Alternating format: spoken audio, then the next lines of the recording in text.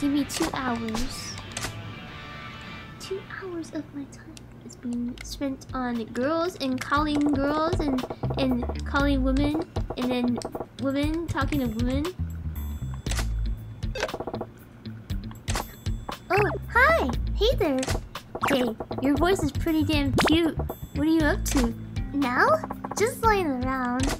I'm jealous. You got a day off?